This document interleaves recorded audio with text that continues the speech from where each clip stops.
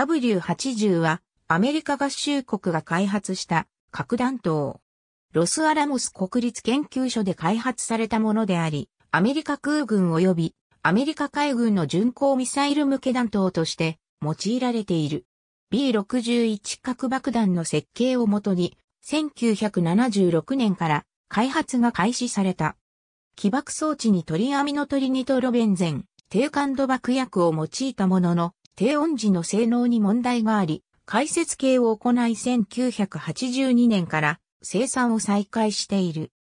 モット0とモット1の2つのサブタイプがあり、モット0は海軍の BGM-109 トマホーク向け、モット1はエイジム -86ALCM 及びエイジム -129 悪夢向けとなっている。モット0はプルトニウム240の含有量がより少ない高品質の各分裂燃料を用いている。これは潜水艦乗組員向けに放射線暴露を低減する意味合いもある。W80 のサイズは直径11.8インチ、長さ31.4インチ、重量290ポンド。核出力は可変式であり、5から200キロトン。1981年より W80 モッド1が、1983年より W80 モッド3の生産が開始されている。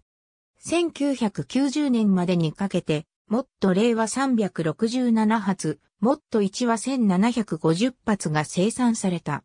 アメリカ海軍の向けのものは、戦術核兵器の海上配備廃止方針により保管状態にあり、空軍向けのものは現在でも配備状態にある。なお、W80 については今後も配備を続けるために延命計画が検討されている。ありがとうございます。